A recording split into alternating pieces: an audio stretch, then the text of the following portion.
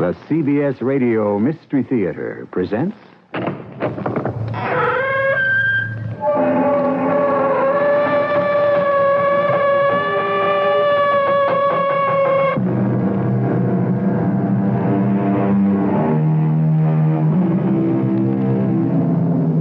Come in. Welcome. I'm E.G. Marshall. In his Psalm of Life, Henry Wadsworth Longfellow says, Trust no future, howe'er pleasant. Let the dead past bury its dead. Act, act in the living present. The trouble is that the past so often refuses to stay in its place. And the dead invade the living present, or at least the memory of them does, to shadow both it and the future. As you will find out if you listen to this particular tale. Wait a minute, Buck. Are you suggesting that Joe Coslow had anything to do with Pete Stein's death? That's what I've got to talk to you about. Because Andy Hassler and Tom Pierce also died on that same date. I want to tell you, buddy, I am scared stiff. I figure one of us has got to be next.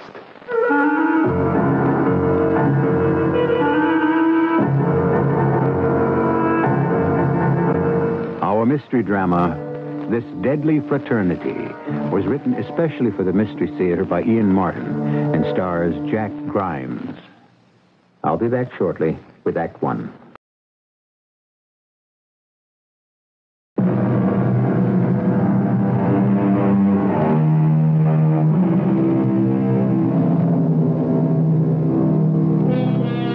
Not so very long ago, a bank was a temple, a hallowed place of mystery.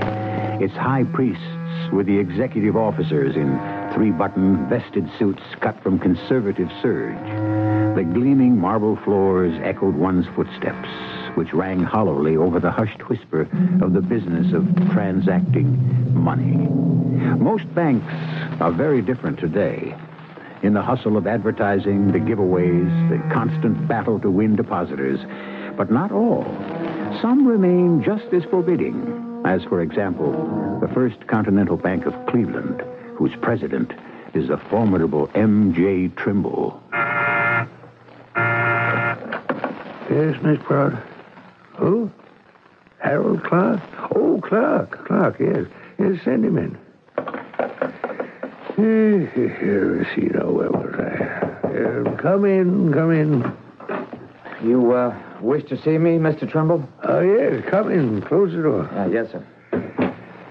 Now then, uh, how's everything going along at Mortgages and Loans, Clark? Uh, well, all right, I, uh, I think. Uh, have I, I done something wrong? I don't know, Clark. Have you?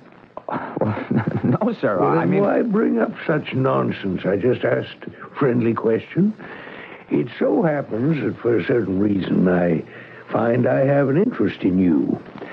Uh, how long have you been with us now?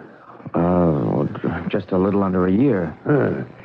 Came over to us from Metro Bank, I believe. Uh, that's right, sir. Uh-huh. After seven years. uh, Certainly took time for you to see the error of your ways. I mean, after all, we Holcroft men should stick together. Yeah, sir? Uh, Your college, Clark, your college. Didn't you graduate from Holcroft? Well, yeah, yes, Mr. Trimble, I did. Well, there you are. So did I. Uh, I know that, sir. You're one of our most distinguished alumni. Oh, well.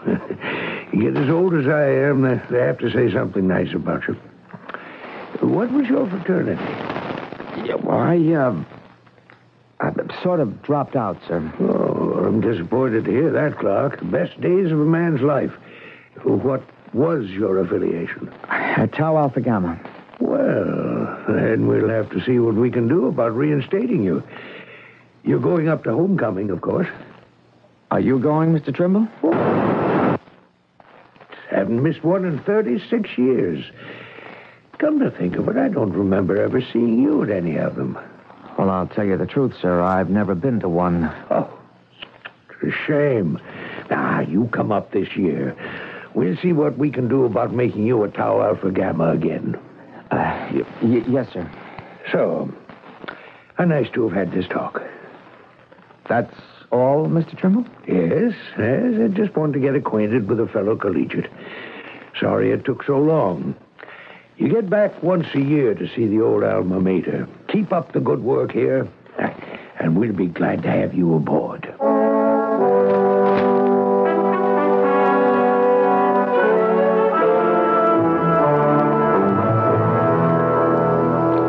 See what's got you in such a lather, Harry. Helen, I just got through telling you. So your boss suggests you should go off on a little jaunt to your college homecoming. What's so terrible? He didn't suggest. It's, it's an order. All right. If it'll keep the old boy happy, it's no skin off your back, is it? You might even have a good time. I won't have a good time. All right, then. Don't go. If I want to keep my job, I've got to go. That's the message I got today, loud and clear. Nonsense. Oh, it's true. Sometimes I wonder about you, Harry. Huh? Honey, what is it makes you so uptight all the time? You're like Chicken Little, always afraid the sky is going to fall on you. I'm, I'm sorry, Helen. I always have the feeling that something haunts you way down deep, like it was something you buried a long time ago and, and keep being afraid wouldn't stay that way. Oh, now you're being silly. There's hardly a thing in my life you don't know about. There's nothing wrong with us. I'm terrified there is. What do you mean? Is it because. because we. because I've never given you a child? Come on, honey. We've had that out long ago. One of these days. Oh, come on, honey. When when it's meant to, it'll happen. Now, in the meantime, who's complaining? I guess maybe I am. Oh, I find it gets sort of lonely around the house days, and now that you're going off on a weekend jaunt with the big boss and, and starting to plan nights out with the boys. hey, hey, hold, hold on. Wait a minute. I'm not going with MJ. I'll have to get there by myself. And uh, what's all this about going out nights with the boys? Well, isn't one of the ideas you're going to join up with your old fraternity again? No. But I thought that was part of M.J. Trimble's master plan for you. I don't want to have anything more to do with Tau Alpha. Why? Didn't you have a good time there? No. Yeah. yeah. I mean, it, it, it, it, it's not my style. I think maybe you ought to make it your style. Look, let's stop talking about it. It, it, it, it just doesn't matter. I think it does. No, I'm, I'm, I'm, I'm not going. Harry, now there's that old bugaboo again. Why are you so afraid of going back to a college you graduated from with honors? It, it, it isn't the college. It's... I'll get it. Hello? Hello? Uh, Mrs. Clark? Yes. M.J. Trimble here. I wonder if I could speak to your husband. How do you do, Mr. Trimble? Uh, uh, uh, of course. Uh, it'll just take a moment to get him. He's in the other room. Who is it? Why did you say I was in the other room? It's Mr. Trimble. And I wanted to give you a chance to think before you talk to him. Why? What, what does he want? I don't know, but before you answer him, think, darling. Oh, for heaven's sake, Helen, gi- give me the phone. Uh, hello, Mr. Trimble. Clark? Uh, Boomer Johansson just called me, and he won't be able to make it next week. He'll be out of the country on State Department business. You remember the old Boomer? Yeah, well, I, I, I don't believe I. Class of 38. Old Crap's first All-American. Anyway, since he had to cancel, that means there'll be an empty seat on our bank's jet. So, uh, I'll fly you up and fly you back. Can I count on you? Uh, well, well, y- well, y- y- yes, Mr. Trimble. That's that's very kind of you, sir. Uh, nothing at all, my boy. Just gives you a notion what a fraternity brother can mean to you. Especially a big one. I'll have my secretary give you the flight time and any other pertinent details. Well, what happened? Why, he hung up. What do you want? He wants to fly me up to the homecoming. And you accepted.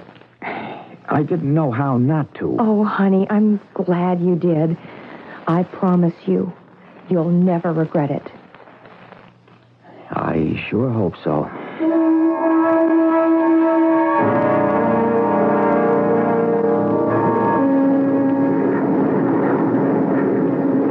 Well, almost there. Look familiar to you, Clark? I, yeah, sort of, Mr. Trimble. It's, uh, it's a little different from the air. Yeah. Well, there's the lake off to your left. Uh-huh. And up on the bluff beyond it, there's our alma mater. uh, we'll be coming on in right over Devil's Leap on our landing pattern. Devil's Leap. Yeah. You ever have to scale that southeast face there? Uh, no, sir, I never did. Oh, that used to be one of the big features of Hell Week. well, they cut it out some years ago, probably before your time. Well, maybe they were right. A couple of weak sisters took some bad falls there. One of them was killed, I think.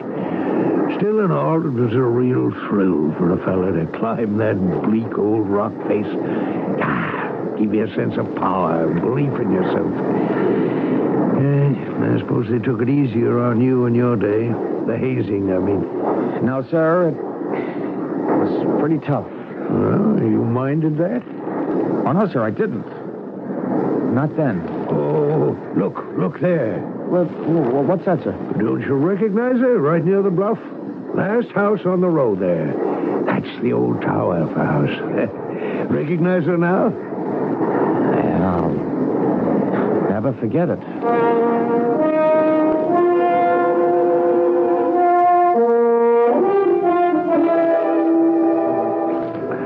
Found anyone you know yet, Clark? No, not yet, Mr. Trimble. Oh, well, you will. I'll have to leave you now. I've got a meeting of the Board of Governors over at the old frat house. I'll put in a good word for you. Uh, where are you staying? Uh, Ralston House. Fine, fine. You check for a message from me before you turn in. With any luck, it'll be word that you're reinstated without prejudice to membership in Tau Alpha Gamma.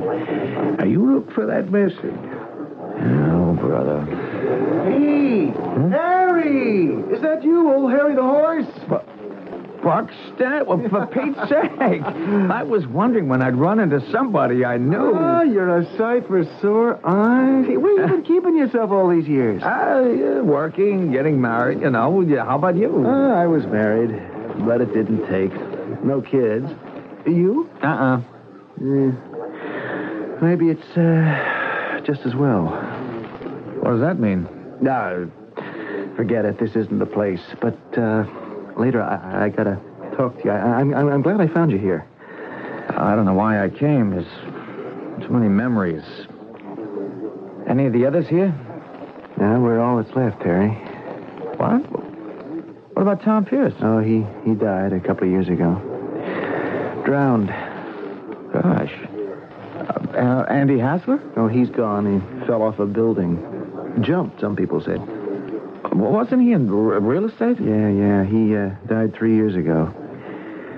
And, uh, well, we might as well get it over with as fast as possible. Um, Pete Stein died in the hospital after an appendicitis attack last year. Oh, man. Well, that only leaves Joe Coslow. Uh, any idea what happened to him? I, um, I uh, lost track of him after the army busted him. Busted him. Yeah, stuck the uh, killer in the brig. Silly old nicknames. For what? Oh, for manslaughter, he uh, half killed a recruit. His nickname wasn't so silly. Well, the leopard never changes his spots, I guess. He still in the brig? No. How do you know? Um. Well, uh, after Pete Stein, um, got his, I, um, I got an army buddy to check for me. Coslow's stretch was over September 28th, 1976. 17 days before Pete died. October 15th. October 50. That's the same day that Phil Fowler. Yeah. Oh, are you. Are you suggesting that the killer had anything to do with Pete's death? Well, that's what I got to talk to you about. Because Andy and Tom died on the same date, too. I want to tell you, I'm scared stiff, Harry. I figure one of us has got to be next. What do you suppose happened to six members of the class of 34 at Holcroft College that would make them candidates for sudden death? I did promise you that the dead past was going to invade the present, and it seems as if it has, with a vengeance. Now, was that just a cliche phrase or prophetic? I shall return shortly with Act Two.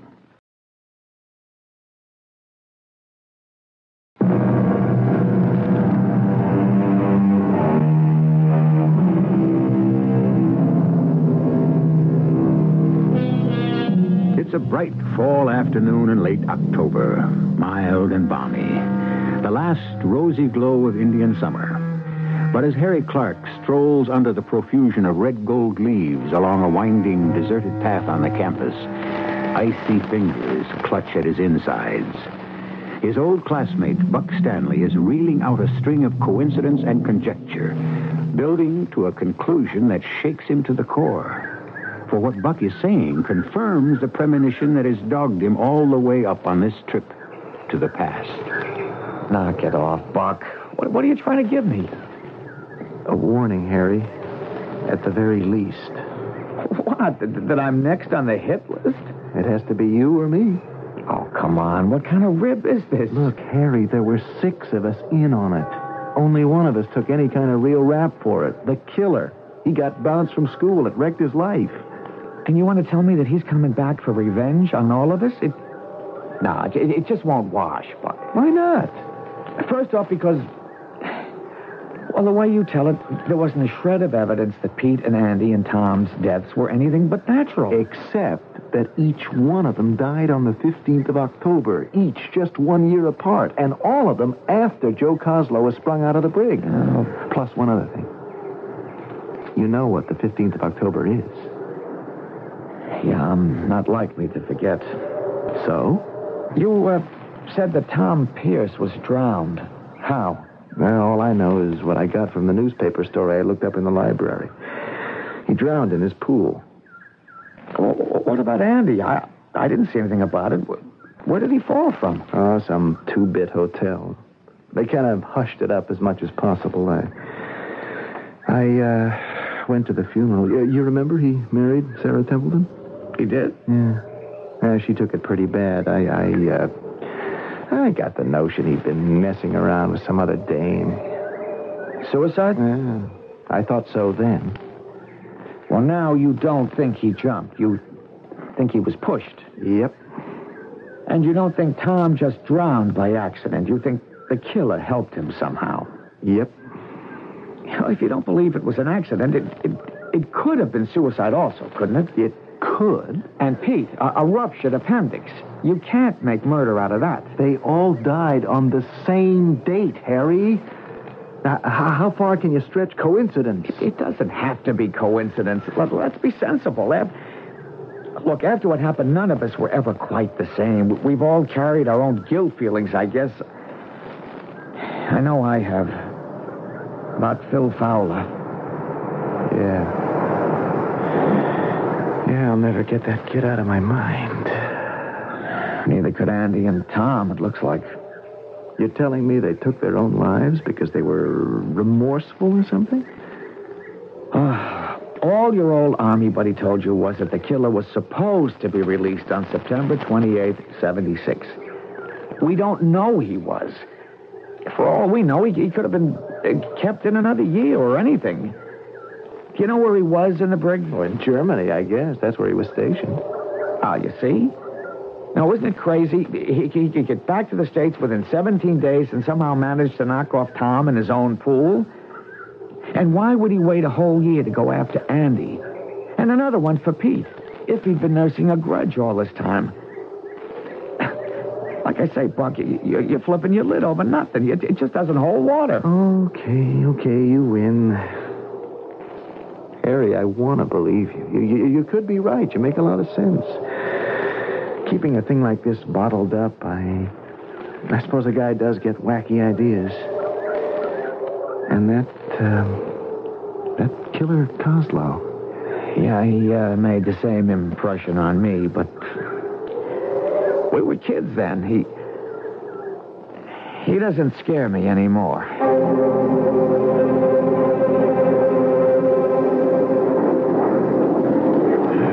Weekend on the old campus, son. Well, I don't know if I can quite tell you, Mr. Trimble, how much.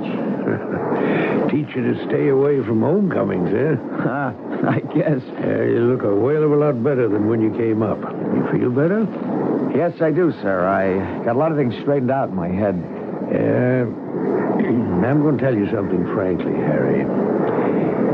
When I put up your name for reinstatement and they opened the books for me, I was shaken. Here I was, sponsoring or trying to sponsor someone who walked out on us in the middle of his sophomore year. Now, don't, don't interrupt me. You know me. I, I couldn't leave it like that. So I started digging. And the whole story came out. About Phil Fowler. Yes. Unfortunate thing. Terrible thing. Nobody's fault.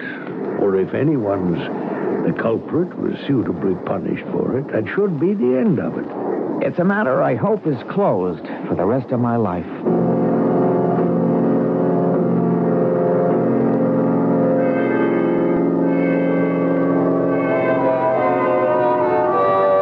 Oh, darling. Darling, I can't tell you how happy and delighted I am. About what? You? Oh, is there something new with me? You know there is. Ever since you came back from your big rah-rah weekend, you've been a different person. You're the man I married again. What happened up there, Harry? Where? At dear old Holcroft? Uh, something I do have to tell you, Helen, someday. Why not now? No, not yet. Going back, I got a couple of things in perspective, at least. I, uh, I should have gone back years ago. Then it mightn't have haunted me so much. I don't want it to start haunting me again. Mm, why don't you tell me? Oh, okay. Uh, let me turn off the radio. When I went to Holcroft, there was a guy two classes ahead of me called Joe Coslow. He looked like uh, King Kong. I was scared of him. Well, we were all scared of him. He could have broken any of us in two. We called him Killer Coslow. Hmm. Wasn't he a football player? Yeah, Holcroft's only two-time All-American, a, a fullback. The, the guy was a, a, a twisted, terrifying bully. I ought to know. He was the one who put me and all my closest friends through our hazing when we were bid to Tau Alpha Gamma. He was a fraternity brother of yours? We belonged to the same fraternity. He was no brother. He was just what he was nicknamed a killer. You mean he hurt you? Tom Pierce, Sandy Hassler, Pete Stein, Buck Stanley, me. And we all had scars enough to prove that, but they don't matter. They didn't last. Phil Fowler wasn't so lucky. I don't think I've ever heard you mention him. Well, you haven't. I've been too ashamed to. Why? Because we killed Phil. All six of us killed him. Well, what? What do you mean? Five of us were sophomores. Killer was a senior. He organized all the hazing. He he liked that. And he had everyone so intimidated we were scared to question him. It, it, it was the end of Hell Week, and Phil Fowler was freshman pledged to us. We were the fraternity to belong to on our campus. And to get in, any kid was ready to bust his butt. So the killer was going to make sure he did. Over our objections, he decreed Phil had to go through a trial by fire. What does that mean? Well, he made Phil strip and told us all to light cigarettes. Then he told Phil we were going to grind them out on his bare skin after he was blindfolded. Oh, the rest of you went along with that? It, it was a trick, Helen, just mental suggestion. All we'd have done was touched him with a piece of ice. I don't understand. The power of suggestion. You're conditioned the victim so that he thinks he's being burned. But just the same, none of us wanted to go through with it. And did you? No. Because Phil was so scared that while we were arguing, he ran for the door and took off into the night. did you go after him? You're darn right. Listen, it was October 15th. We'd had a cold snap that year, and it was below freezing. And Phil was in his birthday suit. You found him and, and dragged him back? We didn't find him. It was a pitch black night, and there were thick woods between the fraternity house and the lake. The whole killer was fit to be tied, but we were all relieved. Till the next morning. The next morning? There's a bluff called the Devil's Leap right near the Tau Alpha house. It's a 200 foot drop to the lake shore. They found Phil there with a broken neck. In the dark, he must have run right off the cliff. Oh, how awful. Ah, there was an investigation. Very hush hush, of course. And the verdict was accidental death. Only it wasn't. We killed him. But you didn't. It was all that killer Coslow's fault. Ah, that's what the chancellor and the deans decided. Tom and me and the others were allowed to stay on at college. Coslow was expelled. He promised us all he'd be back someday to get even with us. But he never did. No. I, I kept thinking he would, but as the years went by, I accepted it as just a threat. And that's what you told your friend Buck. Because I believed it. Then. You don't believe it now? No. I, I've carried the guilt too, too long. I'm terrified that somehow it's going to catch up with me. How? I, I don't know. If the 15th comes and goes, then maybe I can relax. And if it doesn't? Well, there's a 50 50 chance I won't be around to worry. Because if Joe Coslow is on the loose and out for revenge, it's only a question which one of us will be first.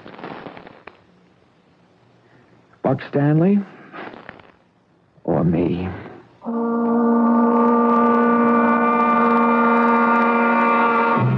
And though circuitous and obscure, the feet of Nemesis, how sure. Those are the lines of the Victorian poet Sir William Watson. And Nemesis is the ancient Greek goddess of retribution who takes many forms. Is the form in this case the hulking figure of the brooding, brutal killer Coslow? I shall return shortly with Act Three.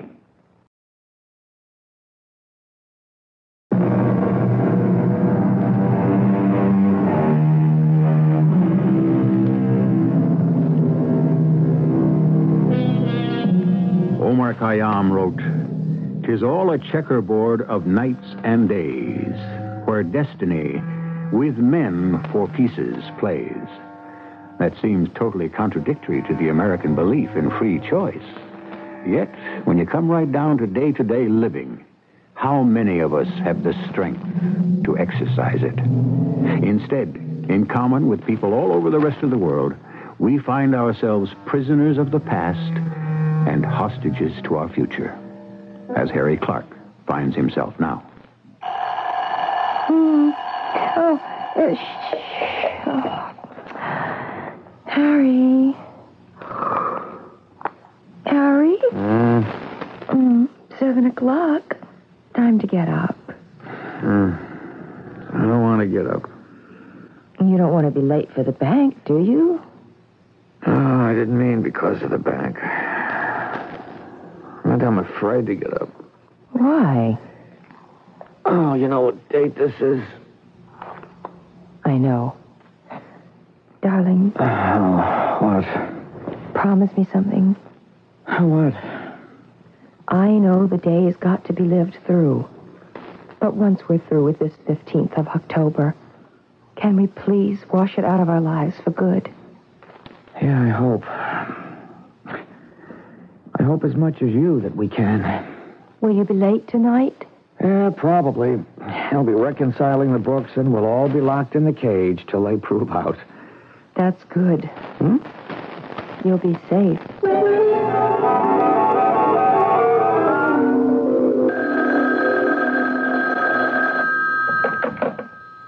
Hello?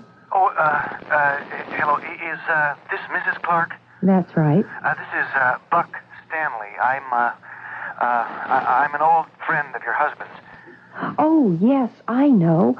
Uh, we've been talking a lot about you. I, I uh, don't mean to be rude, Mrs. Clark, but this isn't a social call. Is uh, Harry there? No, I'm sorry. He's at the bank. Oh. Um. Well, look, could you give me the number? Mm, It wouldn't do any good. You couldn't reach him. Oh, when can I reach him? Well, I could give him a message as soon as he gets home. All right.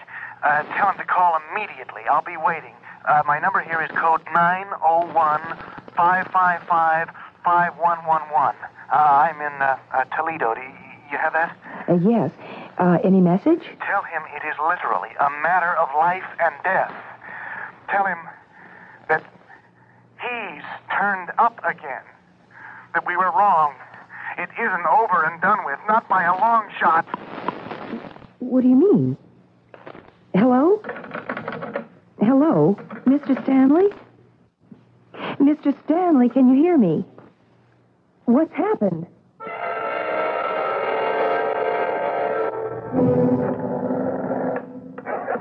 What time did Buck call? About four o'clock. Yeah, it's almost six now. He didn't say what it was all about? Harry, I told you all he said. What did he mean by he's turned up again? Well, who else could it be but Joe Cosgrove? Then why didn't he just say that? Well, I suppose because, well, he didn't think I would know what he was referring to. Maybe. Why doesn't he answer? Buck? What's this? Is this Buck Stanley's wire? Yes? Who wants to talk to him? Well, this is a friend of his from Cleveland. What's the name? Uh, Harry Clark. Who, who's this?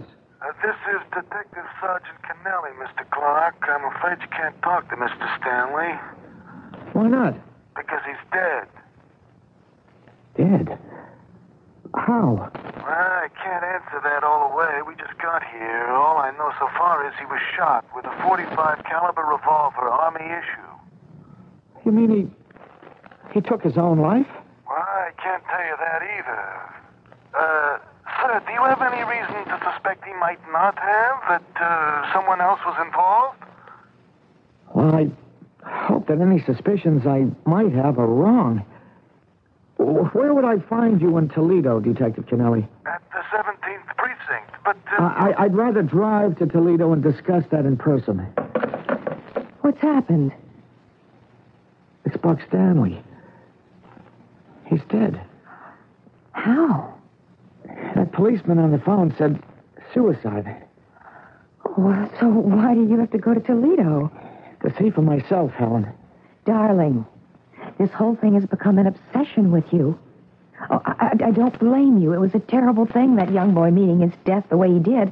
But it was an accident. An accident that would never have happened if he hadn't been scared out of his wits. You are just determined to punish yourself for what happened, Harry. No matter what I say. Now, it's psychotic to carry such a guilt. It's, it's an obsession. Never mind about me, Helen. Let's just stick to killer Joe Coslow. Whatever remorse he feels about that poor kid, Phil Fowler, is all swallowed up in his fixation that he took the whole blame and we railroaded him. If anyone has an obsession, it's him. And if I'm right, I have to be the next because I'm the only one left. Do you want him to kill me, too? No. All right, then somehow he's got to be stopped. That's why Toledo.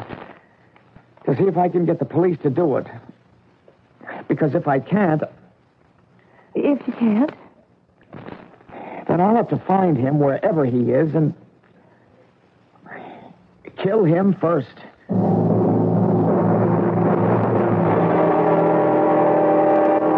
Ah, you can see for yourself, Mr. Clark. It's a classical suicide picture. He was seated at the desk. The bullet was directed directly to the brain. Death was instantaneous. The gun dropped from his hand to the floor, and there are no other prints on it than those of the deceased. I'm afraid you've had a long trip for nothing. In spite of what I told you, Now, we're checking all through that now, but uh, to the best of our knowledge, there was no one like the man you describe in Mr. Clayton's acquaintance. And we have no reason to suspect anything except death by his own hand. you're absolutely sure of that. Mr. Clark, in my business, you learn to be absolutely sure of nothing. We live by a series of educated guesses. So you're just going to let this go at that? No, sir. I don't close any files till I'm certain. Because of you, this one's going to remain open until. Until what? Well, until we check out this Joseph Coslow of yours. Are you working on that now? Mr. Clark, I'm only one detective sergeant in the Toledo police force. I got all I can handle with my own local problems. But for your information and my own, I am checking. But I can't do what you want me to do, get results yesterday or even today. You're just going to have to wait till tomorrow. And the best I can promise you is I'll uh, stay on it and keep in touch. It's awfully important to me. yeah, yeah, yeah. You drew me a picture. I believe my life depends on it. Sir, if I get word, I'll be in touch. And if I don't hear from you? Yeah? Then we're both out of answers. And that's what we got to live with.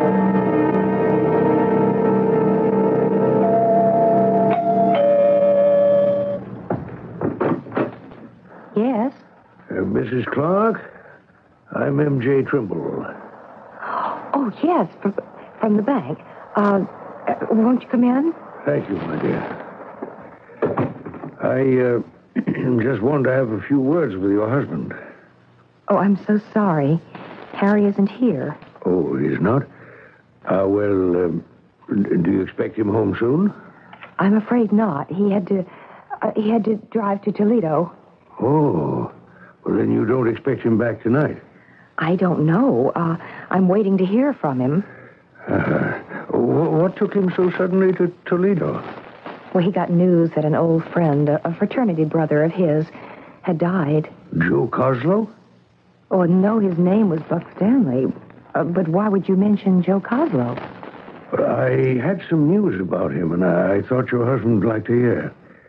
What? Well, eh, let me explain a little first. When I dragooned your husband into going up with me for homecoming, I, I had no idea what sad memories our fraternity had for him. Subsequently, I found out. In proposing him to return to our membership, that the story came out. Mm, That a young boy died. Yes. And who did you conclude was responsible for that, Mr. Trimble? Uh, if anyone, I'm ashamed to say the system. Well, that's a generous admission, but how does it help anyone who was the victim of the system? Like my husband.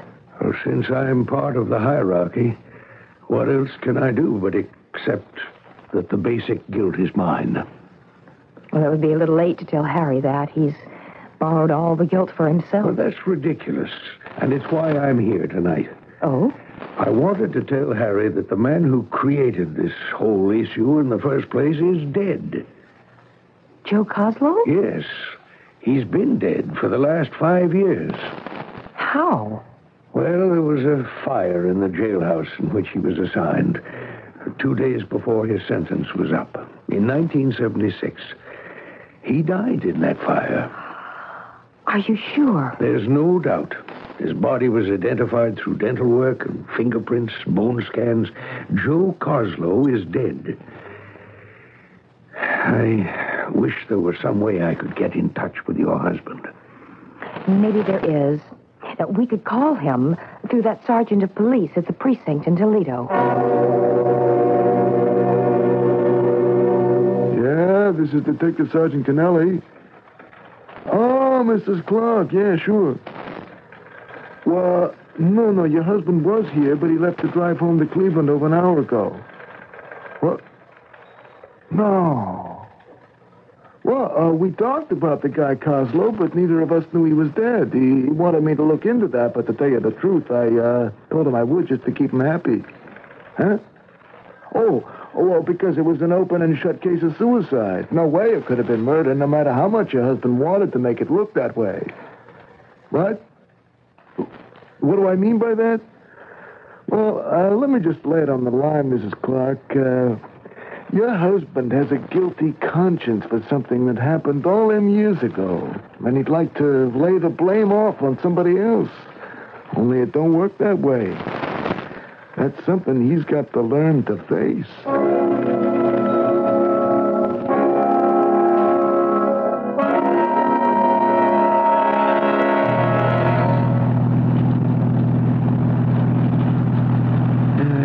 called Helen to let her know I was on my way home. Ah, it's too late now. And I don't want to stop in this weather. Perhaps it's just as well, Harry. Phil Fowler. What are you doing here in the car? It's still not quite midnight, Harry. This is my one day on Earth each year. So it was you.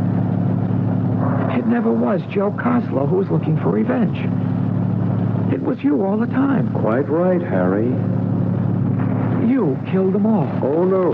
Correction, please. They destroyed themselves, just as all of you destroyed me. What did you mean when you said it was just as well I hadn't stopped to call Helen to tell her I was coming home? Isn't that obvious? You're never going to get home. Let you stop me. Oh, I won't stop you. You'll do that yourself. What do you mean? You've lived with it for over 15 years, Harry. Just like the others.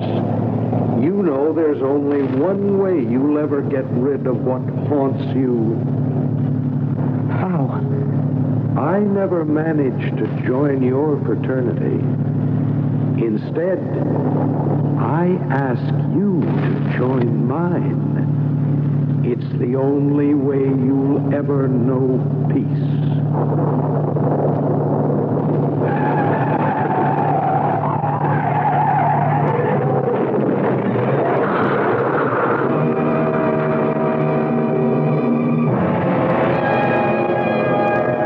There were many tragic automobile accidents on the night of that October 15th.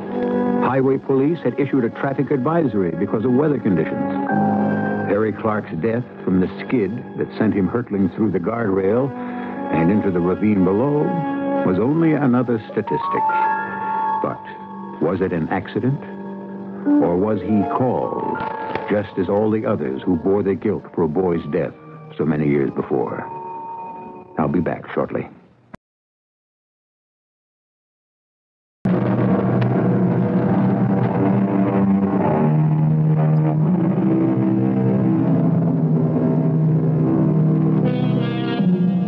Was our story one of deep remorse or inexorable fate? I don't know. I leave you only with another quote from Omar Khayyam. The moving finger writes, and having writ, moves on. Nor all the piety nor wit shall lure it back to cancel half a line, nor all your tears wash out a word of it. Our cast included Jack Grimes, Veleka Gray, Court Benson, and Russell Horton. The entire production was under the direction of Himan Brown. Is E.G. Marshall inviting you to return to our Mystery Theater for another adventure in the macabre. Until next time, pleasant dreams.